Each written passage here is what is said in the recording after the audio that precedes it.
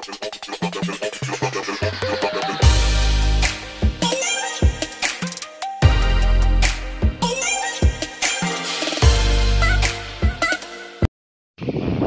ka-gadget, ah, meron akong tanggap kanina naka demo mode yung F11 Pro niya.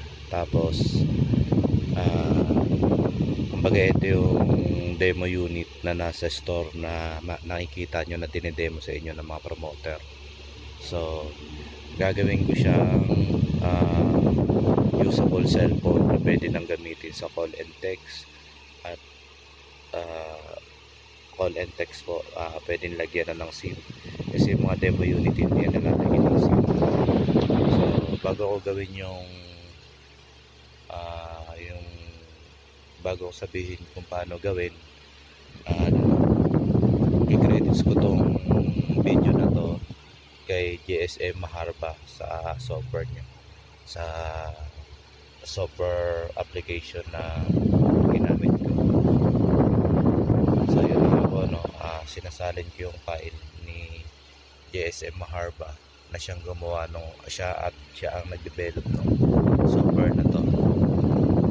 So itong application na ini-install sa Android phone.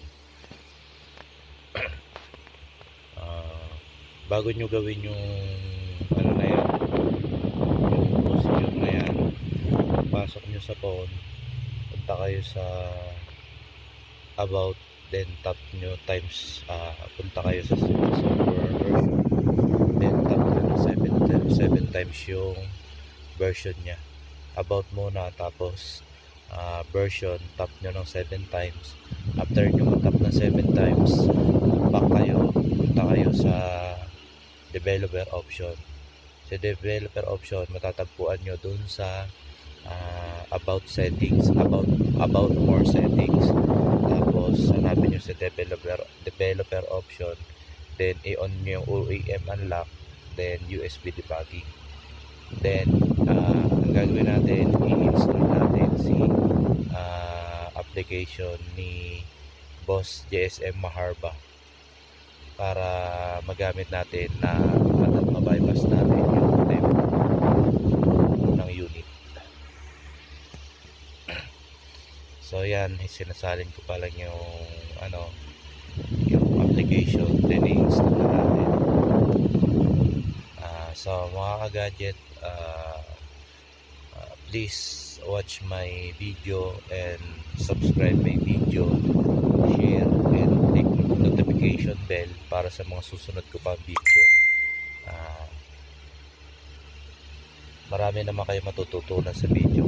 Ah, sana sana ma-hit natin yung 1,000 subscribers. Yan po, dito i-on ko na po yung yun po sa about tapos version, hanapin nyo yung version ng phone. Tapos yun, developer option, bumalik ako, then inon ko yung OEM unlock. Tapos USB debugging. Then back, back, back. Punta ako sa file manager kung saan ko sinave yung application.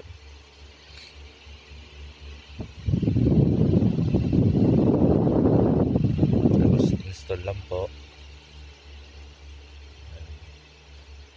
Malaking tulong tong sa application na to na ginawa ni GSM Maharba kasi maraming supported na ano na unit. Yan po. Tapos click niyo po yung factory reset.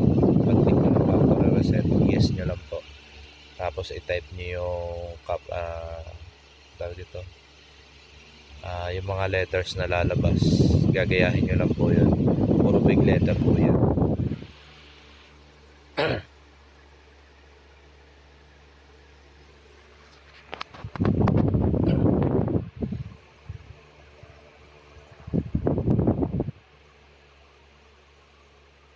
So ginawa ko to, chinek ko muna yung version ng phone, no?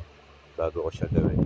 Ah, naka low version naman siya kaya pwede siyang ah, nag-support na naging supported siya din dun sa application na ginawa ni GSM Maharba.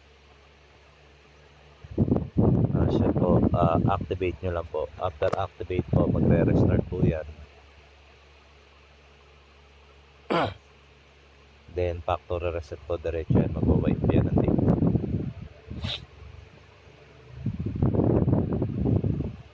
So mga ka-gadget no, ah ah, kung kayo may mga hindi kayang gawin at hindi nyo nakita dito sa tutorial ko sa YouTube, ah, pwede nyo siyang dalhin sa aking shop. Ah, located po ako sa SM13. Tapos po, ah, doon po ako nagre-repair. Ang pangalan po ng store ay Emponex Store. Yung Emponex Store po is multi-branded store. Ah, at ah, doon po ako nagre-repair. Technician po ako doon. Then kung gusto nyo pong kumuha ng unit or umutang ng unit, punta lang po kayo sa store para ma-assist kayo ng mga frontliner namin yung computer namin. So yun na nga no, nag-start na yung unit. Ah, nagsimula na siya sa logo. So antay na lang natin siyang matapos. Tapos yan po. Na inalis ko siya kasi ano po eh may customer ako noon kaya medyo may cut. Nabita yung camera kasi na ibaba ko. So yun na nga po, i-config na lang po natin siya para maging okay.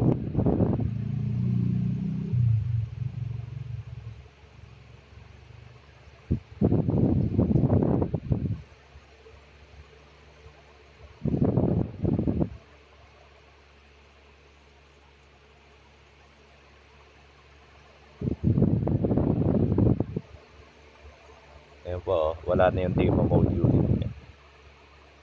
Ayan sa taas. Yan lang po. Maraming maraming, maraming salamat kay JSM Harvest application na nagawa niyo.